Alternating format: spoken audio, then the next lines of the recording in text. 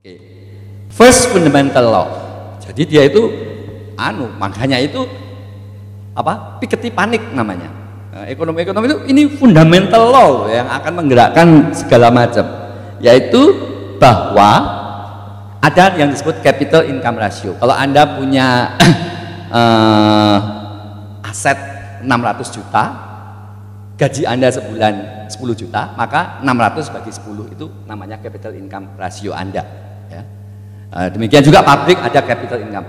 Seluruh income-nya, eh, seluruh capitalnya, asetnya dijumlah semua, dibagi dengan income-nya dalam satu tahun itu sebagai capital income ratio. Makin tinggi capital income ratio, makin capital intensif suatu negara.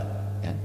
Jadi beta ini di sini itu adalah uh, capital inten, uh, capital income ratio dikalikan return to capital R itu adalah hasil share atau kue yang dimakan oleh kapitalis. Itu rumusnya itu. A sama dengan R kali B.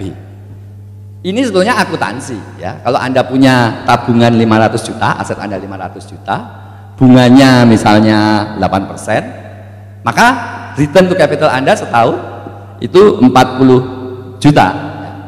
Ya. Jadi itulah ya R-nya, R kalikan betanya itu 40 juta.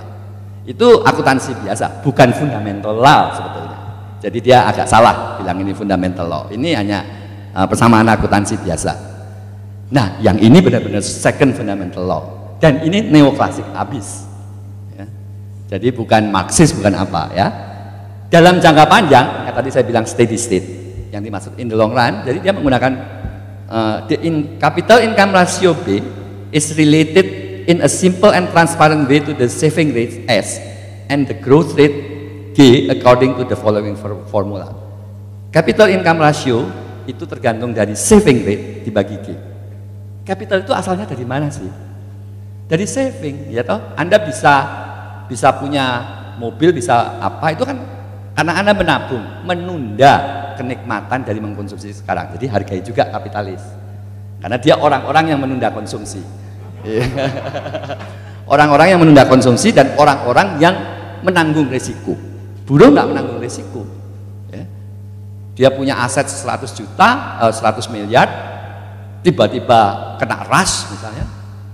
Kalau banknya benar loh ya. Kalau nggak macam-macam, kalau dia bekerja benar ya dia penanggung risiko itu intinya ya. Dua. Nah, beta sama dengan S dibagi G. Ini uh, bagusnya dan jeleknya neoklasik. Bayangkan, ekonomi seperti ini cuma direpresentasikan dengan satu rumus yang seperti ini. Ya. Ya. Bahwa capital ratio itu ke depannya gimana? Itu ya cuma tergantung dari saving rate dan pertumbuhan ekonomi. Ya. Perhatikan pertumbuhan ekonomi ada di bawah denominator. Artinya apa? Kalau pertumbuhan ekonomi melemah, capital income ratio akan naik. Itu ramalan Piketty. Ya. Dan R, S-nya di sini dipegang tetap menurut Piketty. Ya, itu ada contohnya. Lantas, nah kalau digabung yang tadi R lebih besar G, alfa sama dengan R kali B, dan beta sama dengan S kali G, eh, G itu menjadi roti. Ekonomi yang diambil oleh kapitalis itu rumusnya alfa. Itu kan tadi roti ekonomi adalah return to capital bunga suku bunga dikalikan saving rate Anda dibagi G. Sekali lagi semakin rendah pertumbuhan ekonomi semakin besar kue nasional yang diambil oleh pemilih modal. Itu ramalan utama Piketty ya. nah apa yang men, tadi kan pertumbuhan ekonomi menentukan ya pertumbuhan ekonomi. Dia meramalkan bahwa di masa depan itu pertumbuhan ekonomi dari tiga akan menjadi satu setengah satu. Itu ramalannya ya. Apa sih yang menentukan pertumbuhan ekonomi? Sekali lagi ini konsep steady state dan ini juga bagus dan jeleknya neoklasik hanya dua yang menentukan pertumbuhan ekonomi itu yaitu pertumbuhan penduduk G1 dan perubahan teknologi dan inovasi ini sepakat Piketty dan Solo dan semua ekonomi ya ini ini ini yang menentukan pertumbuhan ekonomi di masa depan. Apakah masuk akal bahwa di masa depan akan pertumbuhannya rendah? Masuk akal. Pertama, uh, satu masuk akal pertumbuhan penduduk. Semakin kecil pertumbuhan penduduk, semakin kecil pertumbuhan ekonomi. Ya, masuk akal meramalkan bahwa di masa depan pertumbuhan penduduk akan semakin kecil. Ada kecenderungan semakin makmur seorang, semakin enggan punya anak banyak. Ya. Jepang itu sekarang udah negatif. Dan Juknya meramalkan bahwa pada tahun berapa itu ya itu salah satu solusi. Tapi Jepang itu di Juknya kamu itu nanti punah suatu saat. Eropa itu juga pertumbuhannya rendah sekali pertumbuhan penduduknya. Makanya pertumbuhan pertumbuhan ekonominya juga rendah.